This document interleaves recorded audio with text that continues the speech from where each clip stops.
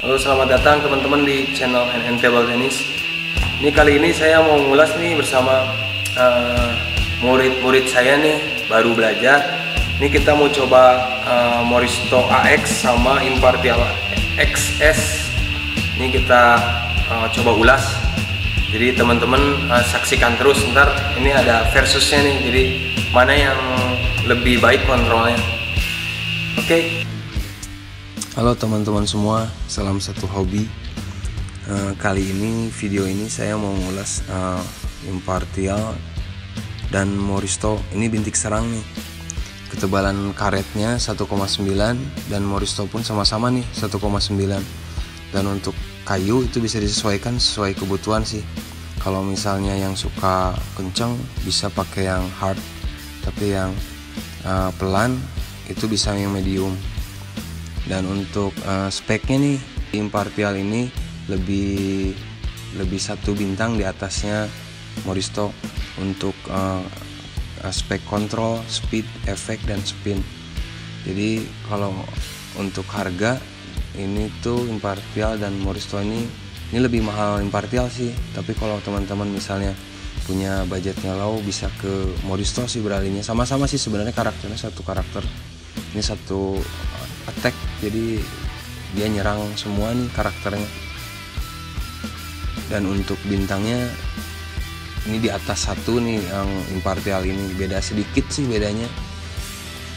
Jadi untuk chop biasanya ini lebih bagus nih Moristo ini. Dia padat banget bolanya. Dan untuk efek turunnya ke lawan masing-masing punya turun. Moristo punya impartial juga punya. Jadi teman-teman nih yang sekarang uh, pakai bintik serang bisa coba tuh bisa impartial atau moristoka jadi teman-teman nih selamat menyaksikan videonya. Uh, saksikan terus ntar kita ambil kesimpulannya di ending. Menurut pandangan saya ntar saya kasih bintang sih ini. Tapi menurut pandangan saya sih ya. Ya teman-teman ntar kalau nyoba misalnya punya pandangan tersendiri bolehlah. Semoga ini videonya bermanfaat buat teman-teman semua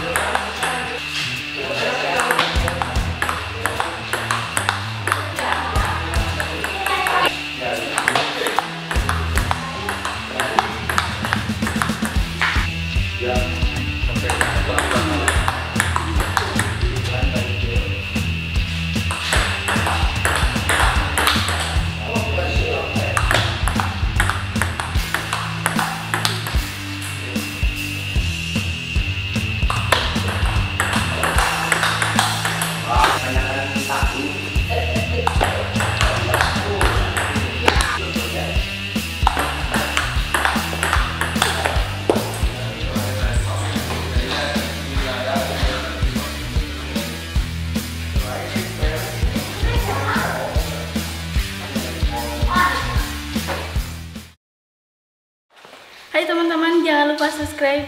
Dan jangan lupa nyalain loncengnya teman-teman. Dadah. Dadah.